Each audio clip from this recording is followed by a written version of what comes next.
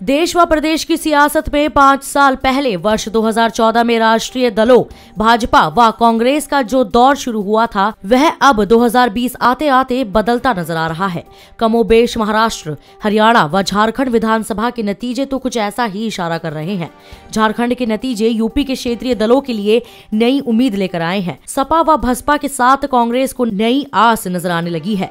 वर्ष 2014 में केंद्र में नरेंद्र मोदी के प्रधानमंत्री बनने के बाद से ऐसा लगा कि देश में दो पार्टियों का वर्चस्व रहेगा। कांग्रेस केंद्र की सत्ता से बेदखल होने के बाद राज्यों में भी कमज़ोर होती गई। लेकिन वर्ष 2018 के बाद से ही भाजपा को क्षेत्रीय दलों से चुनौतियाँ मिलनी शुरू हो गई है। क्षेत्रीय दल एक बार फिर मजबूती से उभर रहे हैं। कांग्रेस इन क्षेत्रीय दलों से गठजोड़ कर पुराना वर्चस्व हासिल करने में कामयाब हो रही है।